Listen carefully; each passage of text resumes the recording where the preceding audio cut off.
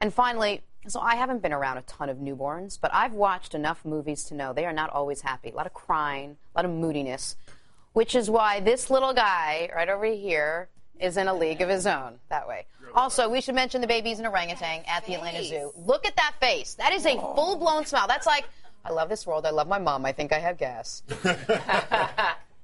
After a team of vets performed a C section on his mom just over a month ago, he's been taken care of by the team at the zoo. He gets daily visits to see his mom, but they are not living permanently together yet. It's an interesting arrangement. Ooh, I love this world. Um, that baby. Cutie patootie. I will tell you, um, they have yet to name baby orangutan. I think so, cutie patootie has a nice ring to it. cutie patootie. Unless he, he goes on to play football, then I'm like, oh, cutie patootie down the middle, running it out. I mean, that just May not doesn't work as well. sound. No, not Maybe maybe Harrison, But it's which you suggested Yes, yesterday. Harrison. definitely something to think about.